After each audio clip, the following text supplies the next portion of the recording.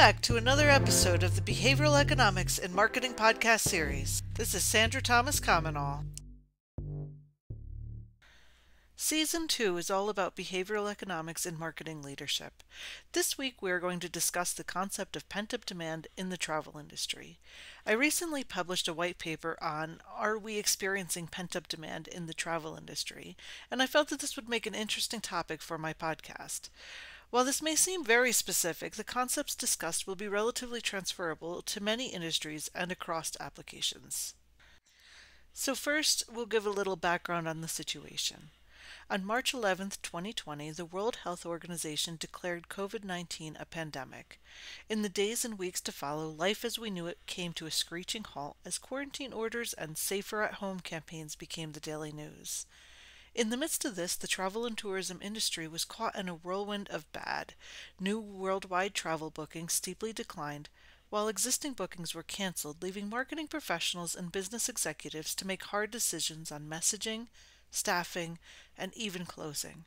Through it all, travel and tourism organizations have held on to the idea that pent up demand currently exists in the travel industry, and the travel industry will come swiftly back upon reopen. And now we're almost a year into the COVID 19 pandemic, and this battle cry is still being heard, which leaves one to question whether pent up demand exists in the travel industry, the factors that affect travel demand through these times, and what the release of pent up demand will look like for travel companies. My white paper explores the question Are we currently experiencing pent up demand? through three data driven studies. The first study lays groundwork for understanding interpreting pent up demand as it has existed in the past.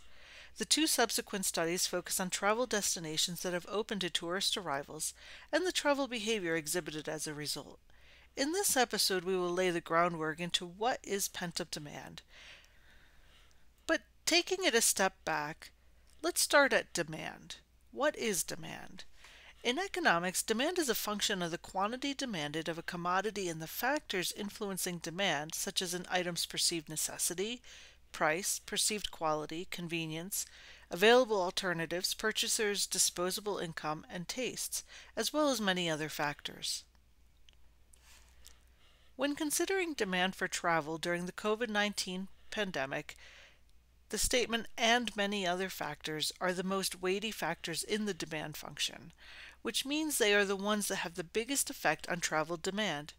And just to kind of be clear on this, demand is a concept that is based on a function or a mathematical equation that factors in all of the variables that I just mentioned to create a schedule or a graph that describes the relationship between price and quantity purchased. For example, perceived quality of travel is not a factor if a destination is not open for travelers. These other factors include laws and regulations, as well as the perceptions about those laws and regulations. Fears such as will I get sick, will I get others sick? Unknowns or risks such as what are the travel restrictions? Will I have to quarantine either there or on, on the way back? How can I minimize the chance of getting COVID? Are there direct flights? Is it safer to stay at, in a hotel or a rental property?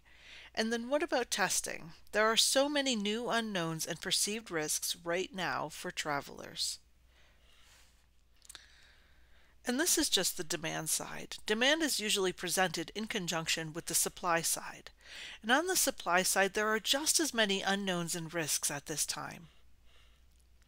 And now that we have a basic framework of what demand is, let's jump into pent up demand. So, what is pent up demand? Pent up demand is a buildup of demand for goods and services in an economy where consumers are unable or unwilling to make purchases to satisfy the demand at the present time. This generally occurs during times of economic uncertainty, such as a recession. But in the world of travel, there are many additional shocks to the marketplace. There is political unrest and friendly missiles, volcanoes, hurricanes, and other natural disasters, and of course, diseases and pandemics.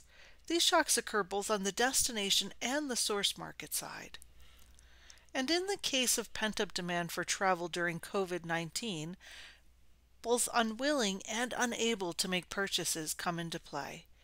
There are several different factors contributing to this, including limited travel supply, economic uncertainty, and unwillingness to travel due to fears of contracting COVID 19, um, giving COVID 19 to family members and friends, and fears surrounding the uncertainty of travel. For example, if a destination changes travel rules just prior to traveling or while in destination, from an economic standpoint, these factors fall into either the demand side or the supply side. On the supply side, regulations that prohibit travel create an artificial scarcity. There is another commodity that is well known for creating artificial scarcity, and that is the diamond market. Diamonds have always been thought of as a rare item that could only be found in a few places around the world through labor intensive mining.